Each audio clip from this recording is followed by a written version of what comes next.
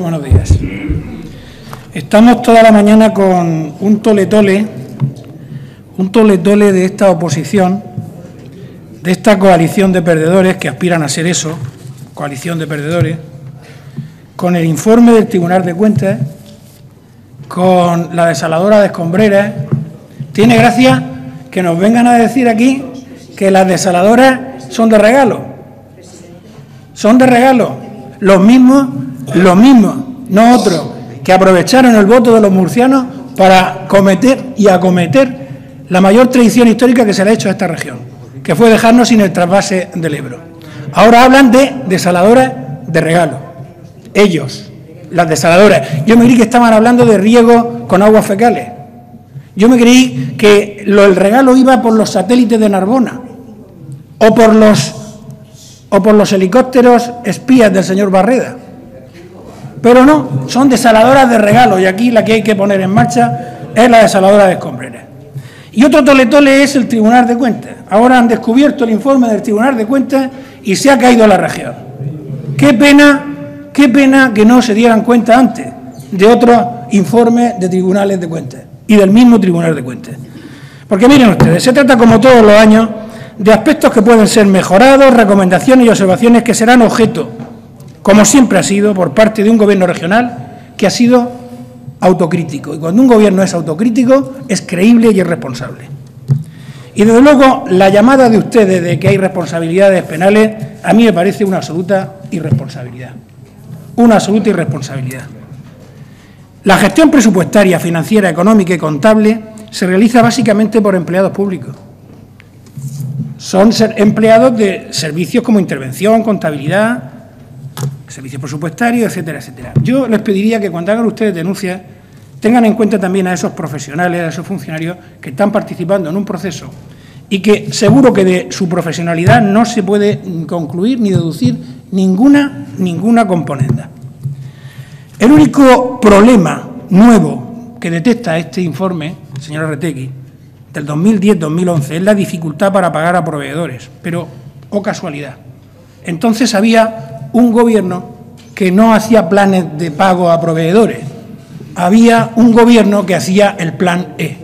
Y usted quiere saber, usted quiere saber de verdad lo que significa responsabilidad política de acuerdo y de dictámenes del Tribunal de Cuentas en el 2010-2011, se lo voy a decir yo. Mire, el 70% de las obras del primer plan E Zapatero no eran necesarias para los municipios. Informe del Tribunal de Cuentas. El Tribunal de Cuentas detecta que muchos empleos del plan E duraron un solo día. El Tribunal de Cuentas concluye que el plan E de Zapatero no sirvió para crear empleo. El Tribunal de Cuentas certifica el gran despilfarro del plan E de Zapatero. Eso sí tiene responsabilidad política, señora Retegui.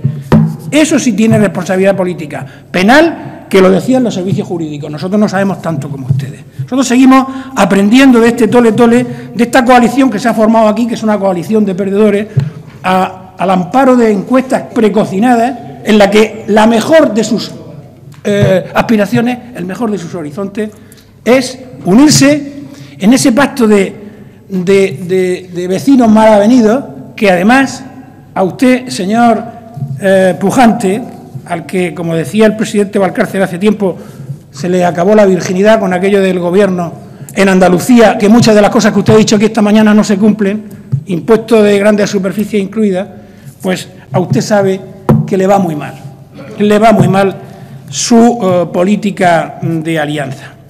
Esta mañana han hecho ustedes aquí, y ese es otro de mis reproches, un discurso cortoplacista, a corto plazo. No han pensado ustedes ni en el medio plazo, ni en el plazo, ni en el plazo superior. Mire, eh, eh, eso significa miopía política. Eso es exactamente lo que menos necesita una región. Y no han aportado ustedes a los presupuestos del 2014, como les han dicho mis compañeros a los que me apresuro a felicitar. Están ustedes en las mismas del año pasado, eh, que son las mismas idénticas del año anterior, y del año anterior, y del año anterior. Es un discurso del disco rayado. No quiero decir yo, porque no es mi estilo, no es mi estilo, señora Retegui, y además, si lo dijera, sería injusto. Y además, si lo dijera, sería falso. Que ustedes no han trabajado estos días y que ustedes no han trabajado estos puestos. Yo no lo voy a decir. Respeto profundamente a quien lo haya dicho. Pero yo no lo voy a decir. Otra cosa es que ustedes y sus enmiendas haya que rechazarlas con desdén. El Partido Popular tampoco las desecha, con desdén, que también lo ha dicho mi compañero. Lo rechaza con argumento. Ustedes han trabajado, y yo les he visto trabajar, pero les sigue faltando perspectiva. Les falta solidaridad con el presente, con el futuro y con las generaciones venideras. Porque ustedes no asumen ni quieren asumir que el déficit de hoy es la deuda de mañana. Y eso es lo que le vamos a dejar a nuestros hijos y a los hijos de nuestros hijos. Y si no priorizamos el control del déficit, ponemos en peligro el estado del bienestar. Yo esto se lo dije ya hace 15 días y hoy se lo vuelvo a repetir. Cuando caen los ingresos de unas cuentas que ya están lastradas por una financiación injusta en la que ustedes tuvieron mucho, mucho, mucho que decir y mucha responsabilidad que asumir, hay que contener el gasto y hay que ajustar y hay que reformar. Y eso es exactamente lo que están haciendo los gobiernos del Partido Popular. Señorías, el futuro no se hereda, el futuro se trabaja, el futuro se consigue desde el presente. Y ustedes, los de la Casa Común de la Izquierda, están instalados en lo que eso de los exégetas de la Biblia. Yo sé que algunos de ustedes no son muy acostumbrados a leer la Biblia, yo se lo recomiendo. ¿eh? Llamaban los, las prédicas de los falsos profetas. Eso es lo que ustedes han hecho aquí esta mañana. Predicar como falsos profetas. Hoy, como ayer y como antes de ayer, ustedes dibujan un panorama que no es real. Y será además porque un político solo acude a las mentiras cuando anda falto de verdades. Señora Retegui, usted aquí esta mañana ha citado personalmente al presidente de la comunidad autónoma. Él está aquí y tiene la libertad, desde luego, de defenderse. Pero yo sí quiero decirle algo. Si hablamos de herencias, tenemos para hacer tres debates. De lo que ustedes han dejado a este país y de lo que esta región ha heredado del Gobierno de España presidido por ustedes. Usted ha dicho que el señor Valcárcel sabe dónde va. Ustedes, según algunas informaciones periodísticas, también iba a ir. En la lista europea, ¿no? No, digo yo, él sabe dónde va, usted por lo visto todavía no lo sabe. En cualquier caso, en cualquier caso, usted nos preguntaba, ¿dónde van ustedes? Y yo le respondo, donde hemos ido siempre, donde nos han dicho los ciudadanos. Fíjese usted, donde nos han dicho los ciudadanos, si estamos aquí porque los ciudadanos han querido que estemos, unos 33 y otros 11. Esa es la soberanía. Vamos donde digan los ciudadanos que tenemos que ir. Ahí es donde vamos. Y mire usted, el señor Valcárcel ha dejado una región vertebrada, dotada, con futuro y desde luego sin sed. Usted hablaba de que el señor Valcárcel estaría esta mañana entre confetis, refiriéndose a la convención del pasado del pasado sábado. Mire, se lo han explicado muy mal. Allí no hubo confetis. Allí hubo razones, miles de razones. Se lo podía enseñar, ¿eh? Lo que pasa es que no quiero. Tampoco. Mire, es que, es que resulta, resulta que decía Napoleón, decía Napoleón que cuando tus adversarios se equivoquen, procura tú no distraerlos. Y yo, ¿ustedes para qué? Se lo puedo enseñar, lo veréis, pero no lo ganaréis. Aquí está todo. Aquí está todo. No vaya a ser que ustedes aprendan. ¿eh? Aquí está todo. Aquí están las autovías que no habían y que, han, y que están. Y no la han hecho los romanos, la han hecho los murcianos, con un gobierno y con un presidente. Aquí está una región vertebrada. Aquí está una región dotada con los colegios, con los colegios, los institutos, las universidades que no habían. Aquí están. Aquí está Aquí está el memorándum de la concordia, donde antes había la imposición de la discordia. Aquí está reflejado quiénes votaban a favor del plan Barreda y quién tuvo que irse a Madrid a que le dijesen los propios diputados socialistas cuánto manda el señor Valcárcel que ha frenado el plan Barreda. Aquí está quien utilizó, sí, sí, sí, aquí eso, vamos, mm, que no me lo han contado nadie, hombre, que estaba yo allí. Aquí está quien ha puesto en valor les guste a ustedes o no, y ahora me encanta que el señor Oñate hable de Europa, del que ha puesto usted en, valor a Europa, a Murcia en Europa. Es que esto, lo he dicho alguna vez, esto a mí nadie me lo ha contado, lo he vivido yo en primera persna. yo he ido a, Bruselas acompañando al señor Valcárcel, tú decías que venías de Murcia y el conserje en la puerta te preguntaba, ¿mandé? No nos conocían ni en el conserje, no nos recibían ni los conserjes. Y, había que a los, a los, a los, a los, grandes ejecutivos de donde se reparten los fondos europeos había que cogerlos a lazo. Yo recuerdo todavía una carrera por los pasillos al señor Barnier, porque había que trasladarle las inquietudes de la región de Murcia. Ustedes no saben lo que en eso ni lo van a saber nunca. El señor Valcarce sí, nos ha puesto en Europa. ¿Les gusta a ustedes o no les guste? Si yo sé que ustedes tienen Valcarcelfobia, si yo eso lo sé. Y eso no se cura, señora Retegui, ni con la oxitocina, ¿eh? ni con la hormona del amor, ni con eso se, se les cura a ustedes la barcazofobia que tienen en estos momentos y que no pueden soportarla. Mire, mire, mire, mire. Señor Luis Vivo, interrumpa un momento su discurso. Lo que... señor Luis Vivo, interrumpa un momento su discurso, repito. Señorías, guarden silencio. Señorías. Le remitiré. Aparte de enseñarle. Señor Ruiz Vivo, le he pedido que interrumpa un momento su discurso, por favor. Ahora puede continuar. Sosegaos, sosegaos. Sosegaos, que mandaré documentación suficiente. Pues claro, si es que una madre tiene amor al hijo, por eso da la vida. Y por eso se agrega la oxitocina. Si es que le mandaré documentación, usted no se preocupe que eso está documentado. Mire, le voy a decir lo que voy a decir, le voy a decir, señoría, ya que usted ha aludido a eso, lo que no ha hecho ni hará el presidente Valcárcel. Mire, lo que no va a hacer el presidente Valcárcel ni ha hecho es aplaudir un sistema de financiación que supone un castigo anual de 250 millones de euros. Eso es lo que no ha hecho el presidente Valcárcel. Ustedes sí. Lo que no ha hecho el presidente Valcárcel es decirle a su gobierno no les den las perras a los murcianos. algunos de ustedes sí. Lo que no ha hecho el presidente Valcárcel es traicionar el PHN y retirar el, trasvase del Ebro. Ustedes sí. Lo que sí ha hecho el presidente Valcárcel es luchar por un sistema de financiación justo y lo está haciendo. Lo que está haciendo el presidente Valcárcel, les guste a ustedes o no les guste, es encaminar a esta región hacia el futuro. Miren, si no les gusta, es su problema. Ya lo he dicho reconduzcanse. Reconduzcanse. Las cuentas que ustedes presentan aquí, se lo han dicho a mis compañeros, se lo repito hoy, son las, las cuentas del sacristán. Las cuentas del sacristán que cantando vienen y cantando se van. Porque yo no le voy a discutir sus intenciones, yo le discuto sus posibilidades. Y no olviden que un político o es hacedor de posibilidades o no es político. Por eso yo decía que el presidente Valcárcel de una posibilidad ha sacado realidades. Por eso hace poco más de dos semanas yo les lancé a ustedes aquí un reto. ¿Lo recuerda, señor vicepresidente? Les lanzamos un reto, el Grupo Parlamentario Popular.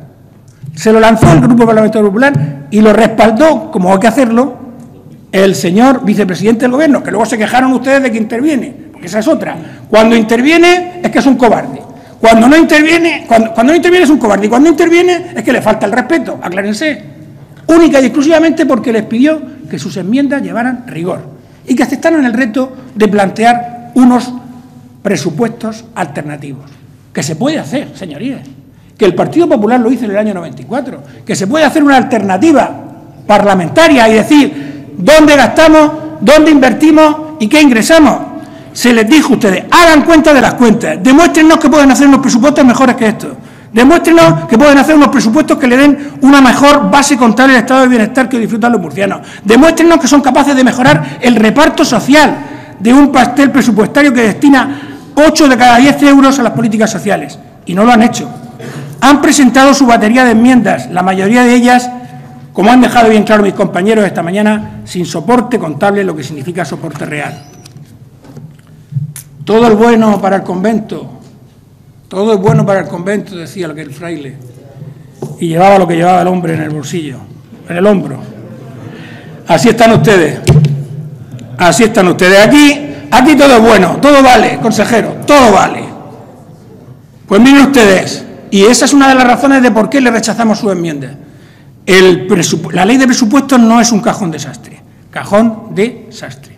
Es que luego Como yo me equivoco tanto, ustedes confunden cajón desastre y yo digo cajón desastre. Aquí la ley de presupuestos no es un cajón desastre y aquí cabe lo que cabe.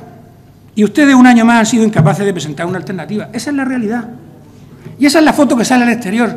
Si es que, si es que del Homo sapiens hemos pasado al Homo, al homo si es que al final la gente en la calle quiere una foto y la foto esta les guste o no les guste a ustedes es una foto en blanco y negro de una oposición que no ha sabido recoger el guante de un gobierno y de un Partido Popular que les ha dicho hagan ustedes un presupuesto y hagan lo mejor que nosotros. No han recogido el guante.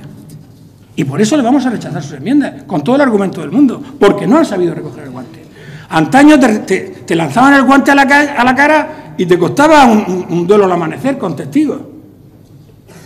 Por aquí ni han aparecido, claro. No han sacado, no han recogido el guante. ¿Y ustedes saben por qué no han recogido el guante? Porque saben a estas alturas que con la recaudación lastrada por la crisis, por la menor demanda, por el desempleo y por la deslealtad del sistema de financiación autonómica que ustedes engendraron, no se puede hacer unos, unos, presupuestos sociales más sociales que estos ni mejores que estos. Y eso lo saben. Y esa es la razón por la que nosotros tenemos que reprocharle hoy que no asumieron ese reto. Cuando la realidad te supere, tú imagínatela, recomendaba Humberto Eco. Ustedes ni eso no son capaces de imaginar primero, calcular después y poner negro sobre el barco finalmente unos presupuestos alternativos. Ustedes ni guantes ni reto, pero yo les advierto con testigos, con miles de testigos de murcianos en la calle que van a saber y van a recordar que su oposición ha sido incapaz de plantear aquí unos presupuestos alternativos, cosa que no es nueva señora Retegui, para usted tampoco, porque hace ya años que prometió hacerlos y luego no los hizo. Y si no, ahí está la hemeroteca, ahí está el diario de sesiones. Si, ¿Para qué vamos a andar con historias si está puesto? John Pulitzer, aquel famoso escritor y periodista húngaro, ya advertía en su memoria, ojo a los retos que te planteen, porque en ellos puedes encontrar las mejores oportunidades. Pero ¿qué oportunidad le hemos puesto en sus manos a ustedes? Le hemos puesto una alternativa de demostrar a la sociedad murciana y demostrarnos a nosotros que son capaces de hacer algo mejor. Y no han querido, han rechazado, no han recogido el guante. Por tanto, y ese es uno de los grandes titulares de esta mañana, ustedes son, les guste o no les guste, una oposición sin alternativa. Con aspiraciones, pero sin alternativa. Y sin alternativa es porque estamos donde estamos y esas familias que tan mal están y que a las que ustedes hacían referencia en una exposición absolutamente demagógica, pues a lo mejor estarían mejor si el sistema de financiación que el señor Zapatero hizo, pues nos diera esos 250 millones más cada año. Un sistema de financiación que este gobierno, el gobierno de Mariano Rajoy, ha comprometido rectificar y reformar el próximo año. Ustedes sin alternativa porque son el partido mutante de la sumisión. Ustedes sin, alternativa porque en aeropuerto primero dan un aval, firman el aval, firman, aprueban que se firme el aval. Y en segundo lugar, el señor González Tobar dice, no, si ahora lo que tienen que hacer es negociar. Y ahora cuando el gobierno está negociando es que el gobierno está hundiendo un proyecto básico para los murcianos. ¿En qué nos quedamos? ¿Con unas o con otras? Tenemos que ¿Con quién nos queramos? ¿Con quién? ¿Con el que dice que hay que negociar o con el que dice que no hay que hacer? Al final ocurrirá lo que ocurrirá. Y es que el gobierno saldrá adelante y una empresa que ha sido concesionaria, que no olvidemos, junto a la cual ustedes se han alineado, incumplidora, poco a poco y gracias a la mano diestra de aquellos que saben poner por delante los intereses de los murcianos, entrará en el carril de lo que tiene que ser una solución pactada acorde con lo que Murcia necesita. Y Murcia necesita un aeropuerto de primera. Una oposición sin alternativa, porque en síntesis lo que ustedes han planteado aquí esta mañana es una serie de piruetas, de cabriolas, de errores, de tretas, de mentiras y hasta de algún engaño. La realidad, señorías, está cambiando. Son ustedes los que no cambian. Los indicadores lo demuestran. En España, en la región de Murcia, está cambiando la realidad. Les guste a ustedes o no. Yo comprendo que estas cosas les da sarpullido, pero es verdad, están cambiando las cosas en España y en la región de Murcia. Lo decía hace unos días el gobernador del Banco de España, lo había dicho antes Joan Roser, el presidente de los empresarios. Lo importante de este momento que vivimos es que son los de fuera quienes nos dicen que comenzamos a salir del túnel. Los informes, los estudios avalan cada vez más, con más fuerza, que el inicio de la recuperación está cerca. termino, termino, presidente. La prestigiosa agencia de medición de riesgos Moody's, como antes hizo la agencia Fitch, ha elevado el rating de la región de Murcia a estable. ¿Y saben ustedes lo que significa? Yo no sé para ustedes. Para mí significa que somos creíbles. Y para mí significa que la credibilidad genera confianza. Y eso es muy bueno para nuestra competitividad. Es muy bueno para nuestro futuro. Que estamos en el buen camino, que el proceso de contención del déficit y las reformas con rigor es el adecuado, que las exportaciones que crecen siete puntos por encima de la media nacional, la venta de automóviles, de viviendas, la economía social, el incremento del PIB regional en el tercer trimestre, incluso el cambio tímido, pero el cambio en la tendencia del empleo por el desempleo o la creación de nuevas empresas, son datos que invitan a, la esperanza. Y mientras que tenemos una, una oposición sin alternativa, tenemos un gobierno regional y un presidente en el buen camino. Y también tenemos, no menos importante, un Gobierno de España dispuesto a ayudar para corregir el daño que la injusta financiación autonómica nos infligió en su día con un Gobierno socialista a la cabeza. Señor Ruiz, debo repetir el llamamiento porque como es usted el último en intervenir de su grupo, hay ya un retraso acumulado. Pues termino, señores. No pretendo ser especialmente severo con usted. Pues termino ya y digo que tenemos hoja de ruta, señores, tenemos propuestas, tenemos un plan estratégico y tenemos muchas cosas más que me dejo para la segunda intervención. Pero frente a una oposición sin alternativa, hay un gobierno, hay un presidente, hay un partido sólido que lo sustenta y hay una nación colectiva. Esta región tiene futuro. Muchas gracias. Gracias, señoría.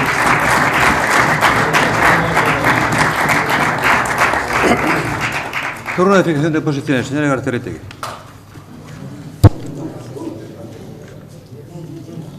Gracias, señor